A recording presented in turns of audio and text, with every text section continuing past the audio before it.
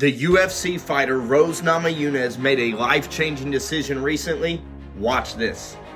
Rose Namajunas gave her life to Jesus Christ and made a decision to be baptized. But wait, there's more. Not only did she get baptized, she drove 17 hours to get baptized. And you can see the joy on her face after professing Christ and being baptized.